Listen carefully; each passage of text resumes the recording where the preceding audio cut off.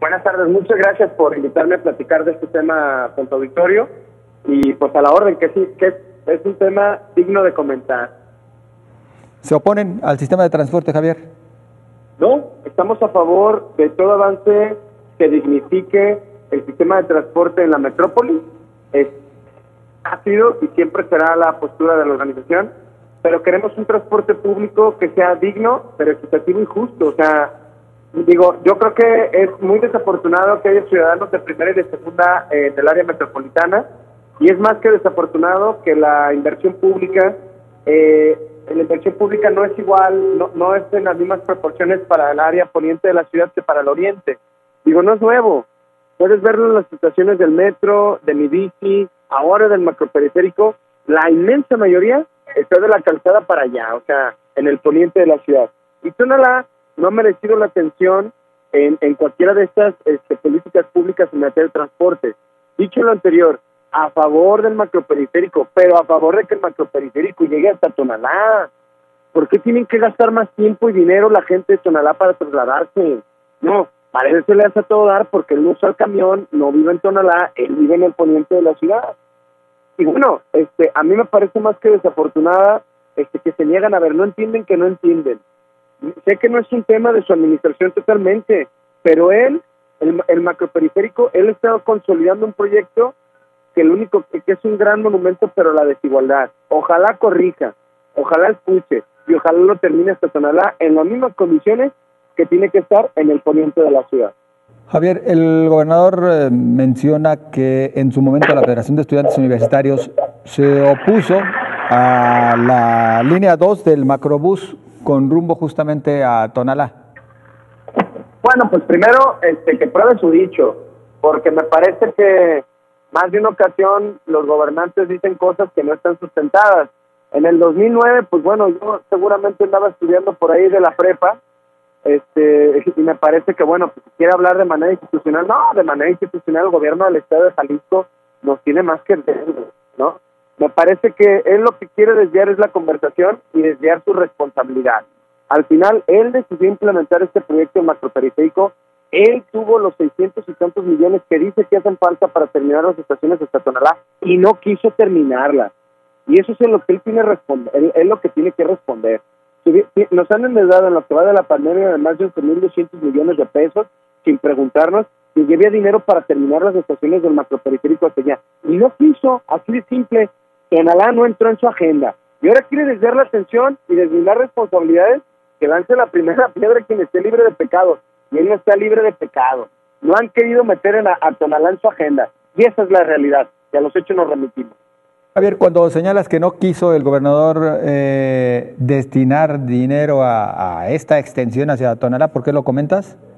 Lo comento porque en declaraciones que ellos han hecho que para que se necesiten al menos de periférico para llegar al centro de Tonalá. Hasta lo reiteró en su video. No, aquí el, el alcalde de Tonalá nos dijo que llegar a las estaciones pavimento hidráulico. No es cierto, alcalde, no, no, cada, y, en otra declaración dijo, cada una de estas valen 80 millones de, pesos y bueno, 8 por 8, 64. Poco más de, de 640 millones de pesos son los que se necesitan para que de la estación de periférico y la calzada llegue hasta Tonalá el macroperiférico. Bueno, ese dinero, ese dinero sí lo ha tenido el gobierno del estado, ¿eh? y, etiquetado por infraestructura. Lo pudo haber tomado del macrocrédito que nos han endeudado en lo que va de la pandemia para infraestructura. No quisieron meterlo ahí. Ah, les falta dinero también de las alcancías rateras. Se han acumulado ese cifra o poco más, sino en lo que va de la pandemia desde que lo han implementado. No han querido, no han querido disponer de dinero del, del público para terminar este proyecto. Política, primero el gobierno del federal y ahora quieren, quieren echar la culpa a la universidad. No, no, no, que se hagan responsables. ¿Qué dinero? Y lo han, lo han mal invertido dándole la espalda al oriente de la ciudad. Javier, por lo pronto y ante ese mensaje que ha dejado la autoridad estatal de que sí se llevará a cabo la construcción, pero se requiere recurso de la federación, dispuestos a pues a sumar para buscar el que sí se atienda por parte del gobierno federal? No, por supuesto, digo, al final Eh, a mí lo que me parece más desafortunado es que la gente del Oriente sigue pagando los platos rotos. ¿Por qué los dejan hasta el final? O sea, neta, yo creo que son quienes gozan de las peores condiciones para trasladarse. A ver, ¿por qué no lo, por qué no lo dejaron inconcluso del otro lado? No, no, no.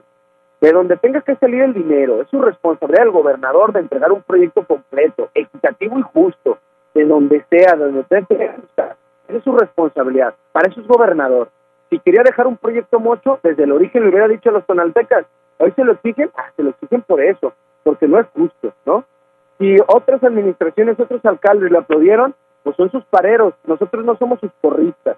Y si por eso nos va a señalar y violentar con su lenguaje y también nos va a violentar, como lo ha hecho en otras ocasiones, como el 5 de junio que violentó a la comunidad estudiantil, como el 19 de agosto que violentó a la comunidad estudiantil que defendíamos el Parque Resistencia Huantitán, entre yo los que estábamos ahí presentes, y ahora nos quiere señalar sus objetivos, no, el gobierno del Estado le sale debiendo a la comunidad estudiantil por todo lo que nos ha hecho su administración, que derechos humanos poco entiende y dignidad tampoco porque no está en su lenguaje.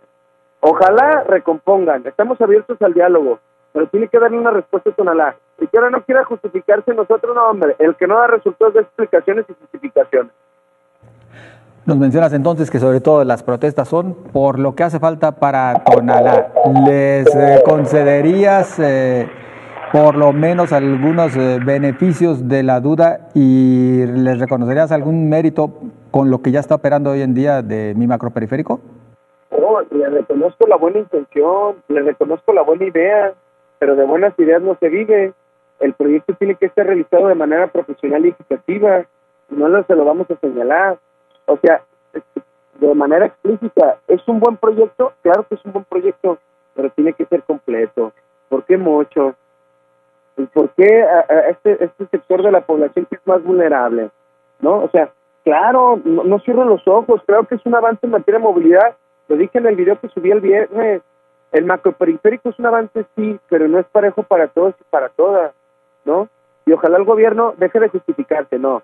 La conversación es que saque y gestione el dinero para completar el macroperiférico. Ese es el tema.